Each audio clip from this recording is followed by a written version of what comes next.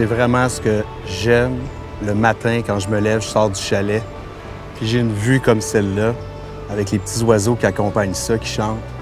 C'est magnifique. C'est vraiment relaxant, c'est enveloppant. Jamais je m'empêche de partir en rando quand j'ai une température comme celle-là, même s'il y a une fine pluie. Dans la forêt, c'est toujours plus reluisant. C'est de toute beauté. Ça me rappelle même mes expéditions en haute montagne. On passe la barrière des 3000 mètres, puis là, on se retrouve avec les nuages à nos pieds. C'est un peu le même feeling que je retrouve ici. Je me trouve en ce moment au refuge du Haut-Perché. Aujourd'hui, ben, je vais me concentrer sur le Sentier national où je vais faire quelques kilomètres. Le Sentier national, évidemment, qui passe à travers différentes régions pour finir en Gaspésie au Parc Forion.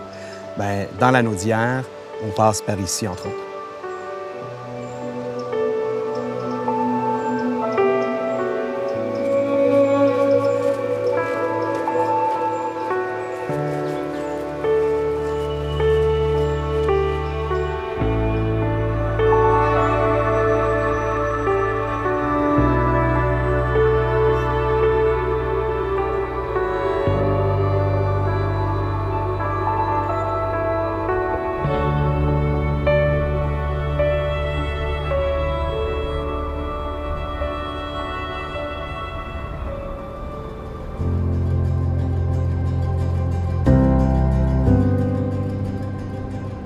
Pour moi, le bois raconte une foule de choses. Une de ces histoires est celle des colons défricheurs et des bûcherons. Leur rôle a été essentiel dans l'essor de notre civilisation récente. Je pense à mon grand-père Zénon, parti coloniser l'Abitibi avec sa famille nombreuse. Quel courage quand même! La forêt est un univers riche et diversifié un écosystème complexe où chaque arbre, chaque feuille joue un rôle vital. Mais au-delà de sa beauté et de sa biodiversité, la forêt a toujours été une source inestimable de ressources pour l'humanité. Depuis des millénaires, elle nous offre le bois, ce matériau polyvalent et précieux qui a servi de fondement à d'innombrables constructions et innovations. Les bûcherons premiers artisans de cette chaîne ont su développer une relation intime avec la forêt. Armés de leur hache et de leur savoir-faire, ils ont pénétré les profondeurs des bois, abattant les arbres avec précision. Le travail des bûcherons est ardu, exigeant une force physique immense et une connaissance approfondie des terrains et de leur relief. Ce métier du bois bien plus qu'une simple profession, est le reflet d'un mode de vie enraciné dans l'interaction avec la nature. Aujourd'hui, je veux rendre hommage à ce métier et à ces hommes qui ont forgé notre histoire. Leurs efforts ont non seulement contribué à bâtir nos infrastructures, mais ont également laissé un héritage culturel profond. Les récits des bûcherons et des draveurs sont autant de témoignages de courage, de résilience et de respect envers la nature. C'est pourquoi je vais à la rencontre d'un de ceux-là dans la région de la Matawini à Saint-Côme, dans la Nausière. Il s'appelle Denis Baudry.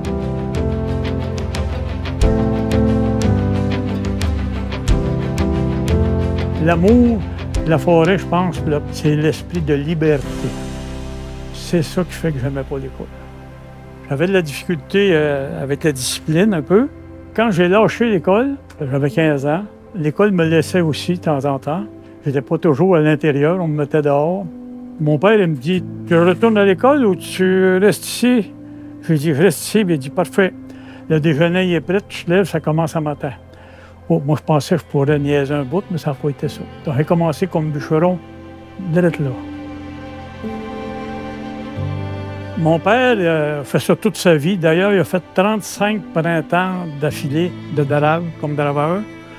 Ça fait qu'il m'a appris le métier, mais le métier que lui connaissait, c'était avec la ciotte puis la hache et le gars. J'ai fait deux jours. Et j'ai dit, on change d'outil ou ben on change de métier. Les gars d'or, pour ce qui est des gros arbres, là, c'était un gars une poignée à chaque côté. On faisait aller ça du mieux qu'on pouvait, les haches. Ensuite est arrivé les premières scies mécaniques, d'où ma passion de collectionner les tronçonneuses, les scies mécaniques. Ça faisait pas tellement longtemps que les scie mécaniques étaient sortis. Mon père me disait oh, oh, on s'emballe dans quelque chose, là. Ça coûte cher, ça. Et mon oncle, l'entrefaite, est venu se promener. Lui, il y avait une scie pour moi, apparemment. La scie était plus pesante que moi. Mais ça marchait tout seul. On n'avait pas besoin de se faire aller les bras. Fait que c'est comme ça que j'ai commencé euh, dans le métier de bûcheron. Ensuite, ben, j'ai connu l'arrivée des machineries, des débusqueuses, ce tout le monde appelait ça un timberjack. Timberjack, c'était le mot, mais timberjack, c'est une compagnie. Moi, j'ai eu ces mêmes machines-là, mais c'était John Deere.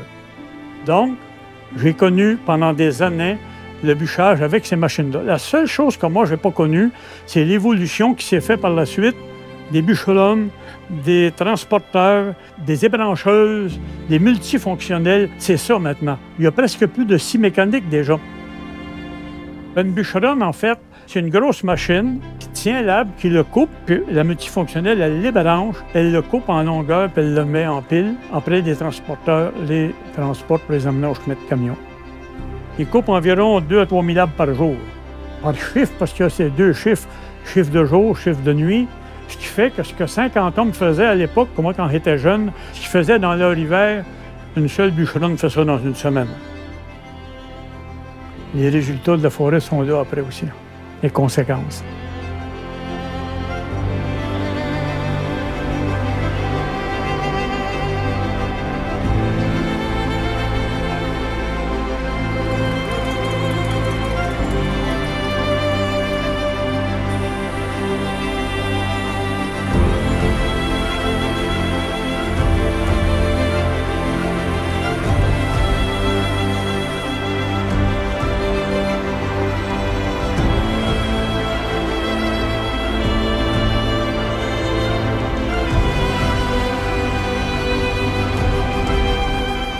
Vraiment un bel endroit, passer la randonnée de la forêt à cet endroit-là complètement minéral, peu éclairé, où on doit se pencher sur certains passages.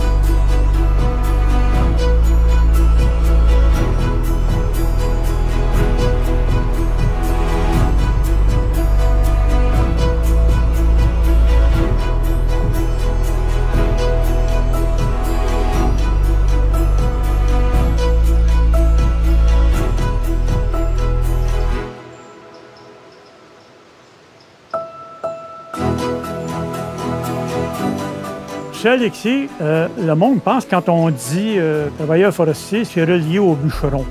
Oui, mais c'est pas seulement que ça. Le premier métier que j'ai fait, ça a été bûcheron. Ensuite, à l'époque, comme il n'y avait pas d'épinière, à tous les quatre ans ou à tous les sept ans, selon les essences, ils achetaient des cocottes de pain, des cocottes d'épinettes, selon ce qu'ils voulaient avoir. Donc, j'ai fait la cueillette des cocottes de différentes essences. Ensuite, j'ai fait la cueillette aussi de la résine de sapin. Ensuite de ça, guide pour la chasse, pour la pêche. Et tu ne peux pas être bûcheron à l'époque sans être daraveur. J'ai connu aussi ce que c'était que le métier de daraveur. Si je parle du secteur de Saint-Côme, là, il y avait déjà, à l'époque, quatre ou cinq scieries, juste à Saint-Côme. Ce qui fait qu'il y avait à Saint-Côme, entre autres, deux coopératives. Coopérative de bio et coopérative de pitoune. Les bio, 8 pieds, 10 pieds, 12 pieds, 14, 16 pieds, c'était du bois de construction. Et ce qu'on appelait la pitoune, c'est coupé en 4 pieds. Donc, les mêmes arbres, au lieu de les couper en 12, 14, 16 pieds comme les bio, c'était en pitoune. C'était du bois pour faire de la pulpe. C'était transformé en papier. Donc, tu devenais membre de la coopérative, ce qui appelait acheter une part, et tu avais une certaine quantité de un contrat à couper l'hiver de piton ou de bio et les sortir aussi euh, au chemin de camion parce qu'il n'y avait pas de transporteur et de grosse machinerie. Le transport jusqu'au chemin de camion se faisait avec des chevaux. Après cette période-là, le printemps, c'était la darave. Donc, partout dans le secteur de la Matawini, ici, qui touche quelques paroisses avoisinantes, c'est comme ça que ça se passait pour en venir aujourd'hui à des grosses séries et ce que j'ai expliqué plus tôt, toutes les énormes machines qui coupent euh, des milliers d'arbres par jour.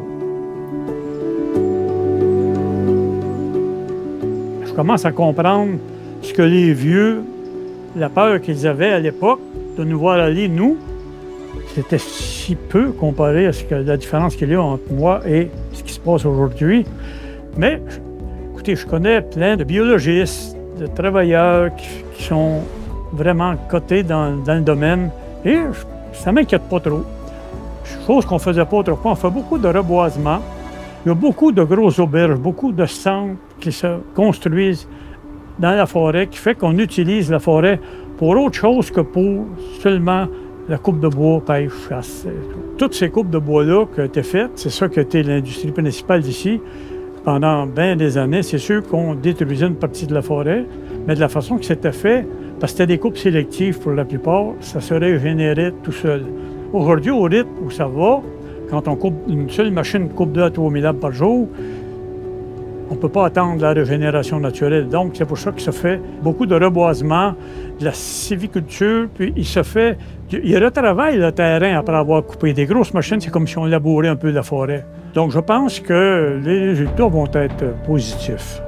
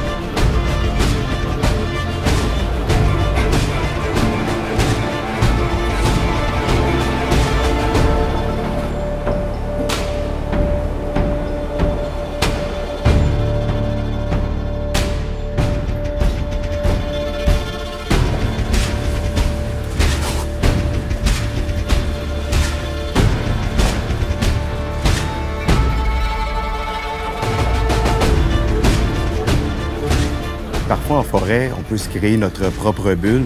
Mais ici, c'est encore plus facile. Dans une grotte, là, je fais un petit détour au parc de la Chute à Boules où on peut visiter cette grotte qui est sur trois paliers, où on peut retrouver euh, une certaine faune à l'occasion, par exemple, des araignées cavernicoles, des écrevisses décolorées. Mais évidemment, des chauves-souris qui sont pas très présentes à ce temps ici. C'est surtout l'automne qui viennent s'installer en prévision de l'hiver. Mais c'est tout un autre monde qui s'offre à nous. C'est vraiment un bel endroit pour toute la famille, les jeunes enfants qui vont passer de la randonnée de la forêt à cet endroit-là complètement minéral, peu éclairé, où on doit se pencher sur certains passages. C'est vraiment toute une nouvelle aventure qui va s'ouvrir pour eux. Ça coupe très bien une journée en deux. Mais là, moi, je retourne à ma forêt, je retourne à ma randonnée.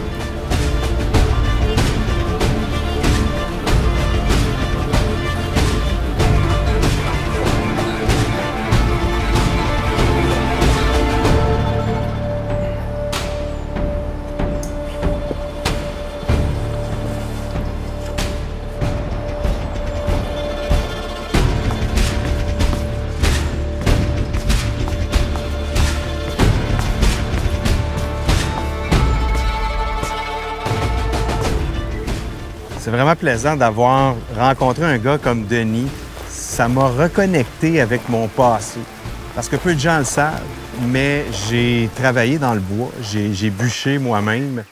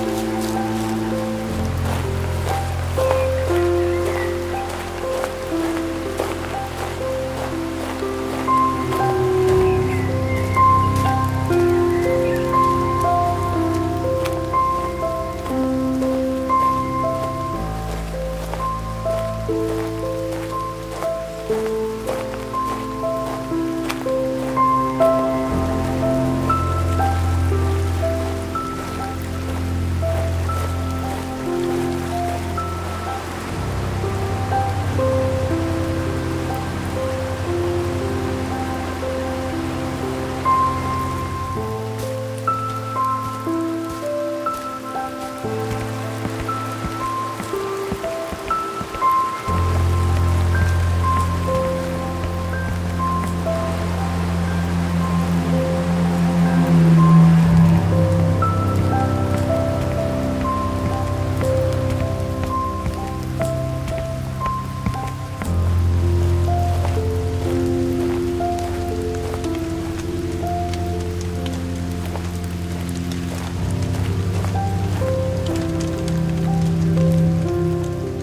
marche toujours sur le sentier dans le secteur du pont suspendu des parcs de la Matawini.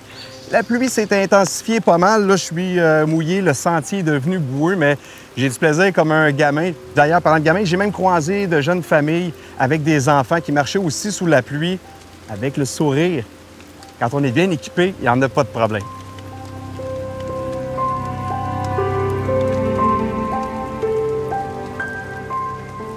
Ma rencontre avec Denis a mis en relief l'évolution de la profession au fil des décennies. Jadis symbole de force brute et de courage, le métier de bûcheron a profondément changé grâce aux avancées technologiques et aux nouvelles pratiques de gestion durable des forêts. L'évolution des techniques de sauvegarde de la forêt est également notable. Il ne s'agit plus seulement de couper des arbres, mais de le faire de manière durable. La plantation d'arbres est devenue une composante essentielle de cette nouvelle approche. Pour chaque arbre abattu, plusieurs jeunes plants sont mis en terre, garantissant ainsi la continuité et la vitalité de la forêt. Des zones sont spécifiquement désignées pour l'abattage, tandis que d'autres sont protégées pour permettre à la biodiversité de prospérer.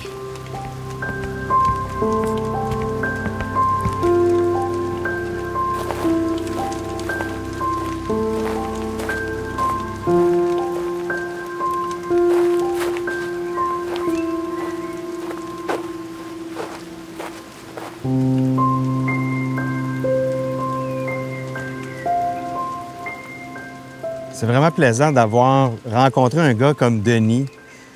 Ça m'a reconnecté avec mon passé.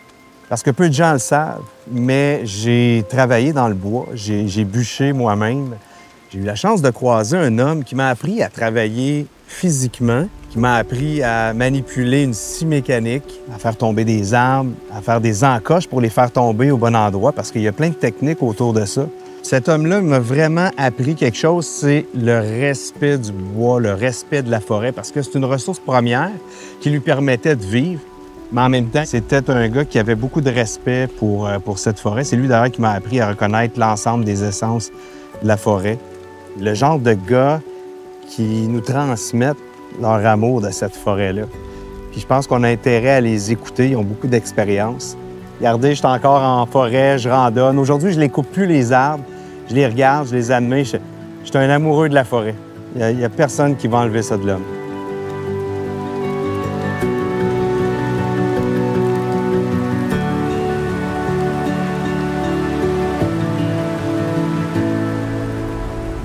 Les bûcherons d'aujourd'hui jouent un rôle crucial dans la préservation et la régénération de nos forêts.